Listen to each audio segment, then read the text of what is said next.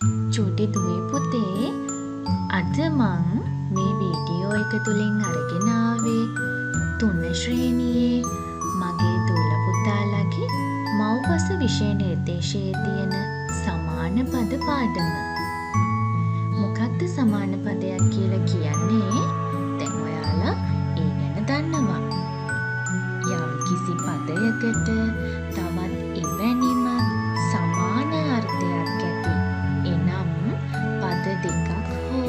කිහිපයක් එකම තේරුම ඇත්නම් ඒ පද සමාන පද කියලා අපි හඳුන්වනවා. අපි බලමු දොළ පුතාලගේ විෂය නිර්දේශයේ තියෙන සමාන පද මොනවද කියලා.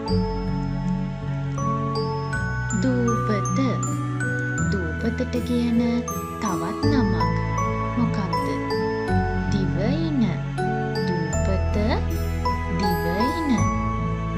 දූපතට කියපු මේ තවත් නමක් කියන එකට අපි කියනවා සමාන පදයක්. දූපතට කියන සමාන වචනයක්. දිවයින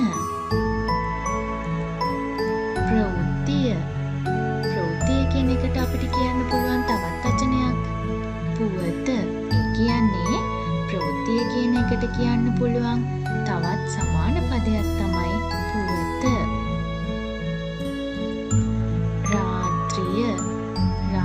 රාත්‍රියට අපිට කියන්න පුළුවන් තවත් වචනයක් රැය. කැලෑව කැලෑවට අපිට කියන්න පුළුවන් තවත් වචනයක් වනය.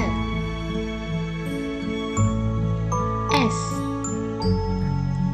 නෙත් ඇස්වලට කියන තවත් සමාන පදයක් තමයි නෙත්. ඉතින් චුටි දුවේ පුතේ ඔය වචන ටික තමයි ශ්‍රේණියේදී ඉගෙන ගන්න තියෙන්නේ. ඉතින් ඔයාලා හැමෝටම ආයුබෝවන් වීඩියෝ එක හොඳයි නම් ලයික් කරලා සබස්ක්‍රයිබ් කරන්න.